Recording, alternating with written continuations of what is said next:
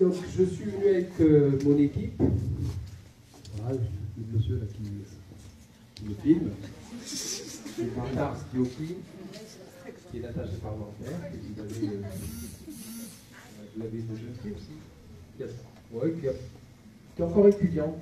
Donc, elle a, elle a une journée où elle travaille avec nous, donc Sigas. Et vous avez Robin, qui est stagiaire, un peu comme vous, là. Il est en, chez nous, il est en, stage pendant six mois, je crois. Donc il va faire trois mois ici en circonscription et puis il fera trois mois à Paris. Donc je me présente Mohamed Akila, je suis député, on dit député des Bouches-du-Rhône. Mais sur une circonscription, c'est la 11e circonscription des Bouches-du-Rhône, qui est Pays.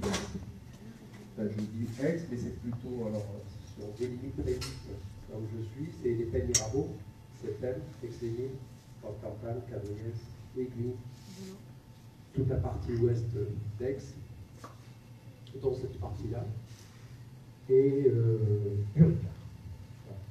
Une circonscription. Il y a 577 circonscriptions en France. Ça, c'est le petit bout que je vous dire. Je suis marié, j'ai trois enfants. Suis même grand-père. Il est vieux, il est vieux. Voilà. Non, j'ai le cadet qui a 22 ans et qui a décidé d'avoir une petite fille. Donc il a voilà, il a voulu commencer très tôt. Je suis euh, de métier, je suis expert comptable et commissaire au compte.